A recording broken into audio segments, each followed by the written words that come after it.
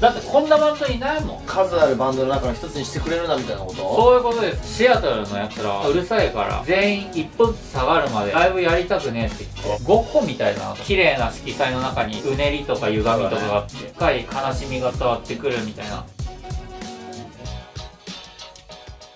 ディアハンターというバンドが唯一無二である理由。いああなんだなんだ。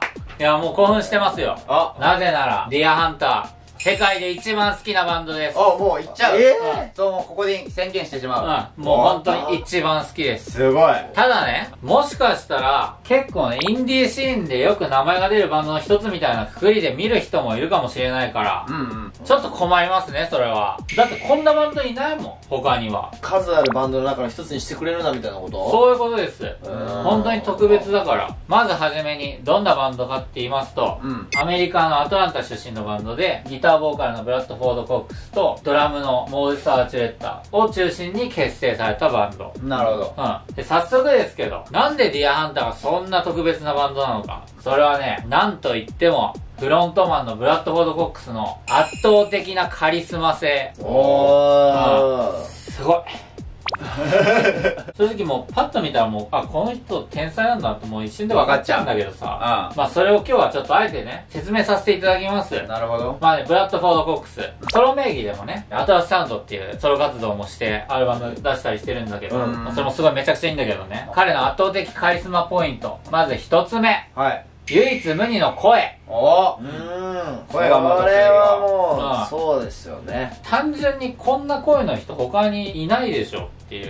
聞いたことないんだよな、本当に。あんな声。どういう声？あー、矢崎もっと優しさもあると思突き刺すような感じもありつつなんであとね優しさもあるっていう。そう。優しさっていうかちょっとねっとりしてんだよね。うん。なるほどね。うん。もう普段からすごい高い声でさ、うんうんその声は聞き心地がいいとも言えるんだけど、うん。まあ、正直変っつったらすごいまあ変な声なんだよ、なるほどね。うん、でも本当頭から離れなくなるような声、あうん、その時点でさボーカリストとしてはもうねものすごい才能だと思うんだけあど。確かにね。で話し方とかはねぶっきらぼうな感じでなんかすごいアンバランスでなんかただもんじゃないなってなるし。歌うともうものすごく通る声でね脳に直接響いてくるみたいな。あら。カリスマっぽいねなんか。うん。脳に直接話しかけてくる感じそうって本当そう。届きやすい声あ大事かもね。キングダムでもそんなこと言ってた気がする。真は不思議と通る声だ。もう長くなるから。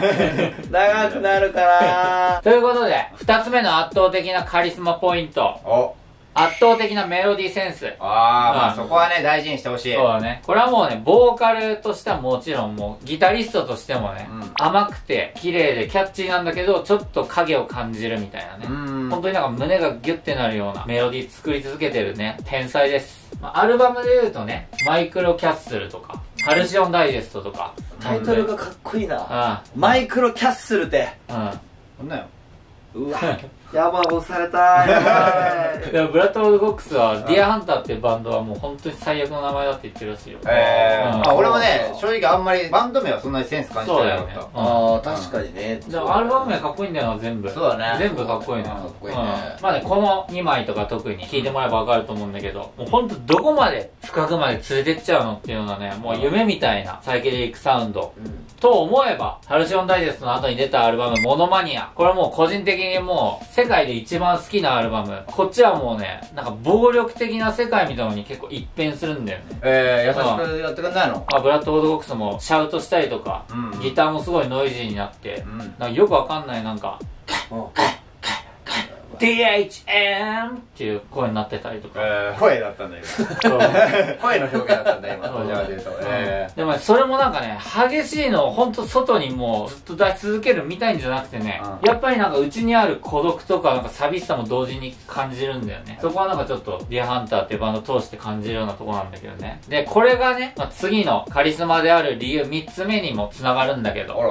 破滅的な危うさ。お。なんかこう、ロックスターに共通するのってさ、こう、切な的なね、生き方をあなるほど。送ってるがゆえのなんか、激しさとか。ありますね。でもまあそういうスターってさ、うん。今の時代あんま見ないじゃん。確かに、うん。あんま切な的なものじゃなくなってきてるねそうだよね。ロックが。これじゃあんまいないなって思うんだけど、うん。ブラッドボードボックスってね、なんか何しでかすかわからない危うさとか、うん。怪しさがすごいあって、シアトルに住んでた時にうん。一回ライブ見に行ったことあるんだけど、うん。その時なんかブラッドボードボックスはすごい不機嫌だったのよ。なんか途中で、シアトルルのやつらはみんなうるさいから、全員一歩ずつ下がるまで、俺ライブやりたくねえって言って、アンプの裏に隠れて、ずっとタバコ吸っててさ、ん。だからなんかみんななんか下がる時間みたいな。だるまさんが転んだ状態だったそう、だろさんこの状態。逆だるまさんは殺すんだけど みんな下げるから。不思議な遊びしたんだいいな。でも音出したらね、ほんとなんか打ちのめされちゃってさ、俺なんか人生で音楽聴いてあんな感情になったことなくてさ見ちゃいけないもん見ちゃったみたいああなるな。ほどね。それぐらいほんと唯一無二の存在なんですよ。でね、いろいろちょっと説明したんだけど、うんもうこれはね、俺個人の意見なんだけど、ブラッド・ゴード・コックスってさ、ゴッホみたいだなと思って。あー確かに近いかもしんないあなー。なんか。綺麗なメロディーを頭に残させながら、それをなんかエフェクトでいびつにさせてって、でもまあ孤独がどうしても滲み出る音楽みたいな。ああ絵としてのゴッホね。なんかゴッホはさ、綺麗な色彩の中にうん。うんうねりとか歪みとかがあって、なんか鮮やかなのに深い悲しみがどうしても伝わってくるみたいな。ジャンルは全然違うんだけど、ん。なんかそういう美しさと危うさと不気味さが同居してるみたいな。俺の中で解釈すると、ブラッド・ゴード・コックスってそういうアーティストだと思うんだよね。しっくりきたかもああ、本当。うん。ということで、正直ね、ちょっとディアハンターのバンドとしての魅力もね、いっぱい語りたかったんだけど、あとはもうね、見て聞いていただいて、2011年のピッチフォークで、あの、Nothing Ever Happened っていうね、曲あるんだけど、もうマジで伝説のライブだから、おディアハンターで一番いいライブっていうかもう、バンドでできるもう最高到達地点ぐらい、もうほんとそういうレベルのライブだから、もうそれぜひ見てください。ということで、ディアハンター、みんなも一緒に聴いてみよう